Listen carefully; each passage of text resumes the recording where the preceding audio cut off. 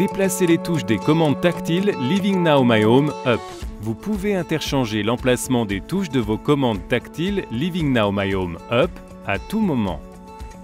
Dans cet exemple, la touche centrale de la commande de droite allume cette lampe. Pour changer l'emplacement de la touche, il suffit de la déclipser. Effectuez ce geste en douceur afin de préserver les contacts arrière. Ensuite, installez la commande de haut en bas à son nouvel emplacement et clipsez-la délicatement.